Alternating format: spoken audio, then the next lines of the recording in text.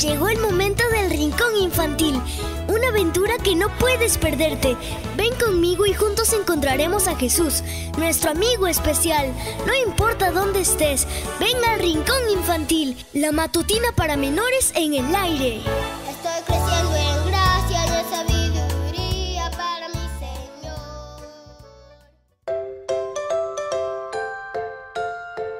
Hola, hola mi príncipe y princesa de Jesús. Es súper fantástico iniciar este lindo miércoles contigo. Que Dios te bendiga y que seas muy pero muy feliz.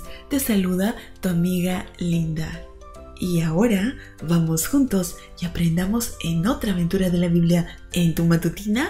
Vamos a jugar. Comencemos. La historia se titula ¿En qué evangelio se menciona ojo por ojo y diente por diente?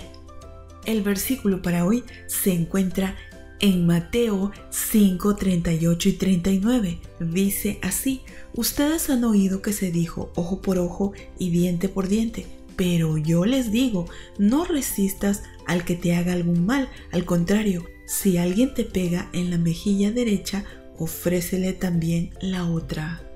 ¿Has escuchado alguna vez el refrán ojo por ojo y diente por diente?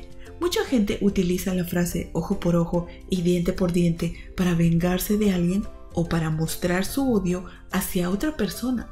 Sin embargo, no saben su origen ni su significado real.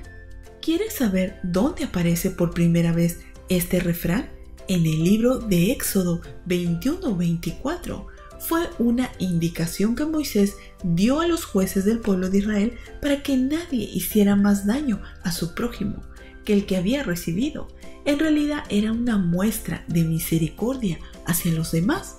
En el pueblo de Israel, los jueces tenían que vigilar que nadie hiciera un mal mayor a otra persona, aunque ésta le hubiera tratado mal.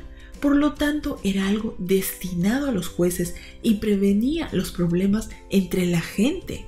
Sin embargo, algunos empezaron a usar esa norma para su uso personal y así provocaron el odio entre las personas.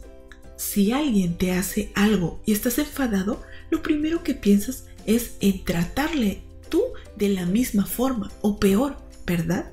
Así fue como los antiguos cambiaron el significado de este refrán y así lo usamos nosotros, pero está mal utilizado.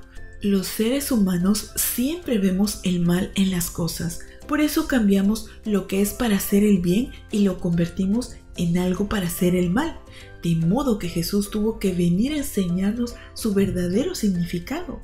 En Mateo 5:38, Jesús dice que aunque hayamos oído que hay que devolver mal por mal, tenemos que hacer lo contrario, devolver bien por mal.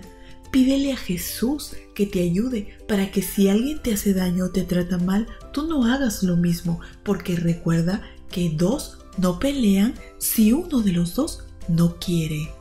Querido Jesús, queremos pedirte que tú nos ayudes a que si alguna persona nos ha hecho sentir mal, que tú puedas ayudarnos a que podamos producir en ella el amor, el amor Señor, que podamos estar abrazados a ti en este día. Te lo pedimos. Amén y amén.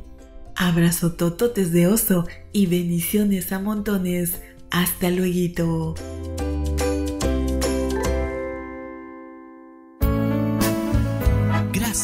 Por permitirnos ingresar a tu hogar, tu auto, oficina o trabajo. Volveremos pronto para seguir conociendo más bendiciones para tu vida. Esta fue una presentación de Canaan Seven Day Adventist Church y DR Ministries. Hasta la próxima.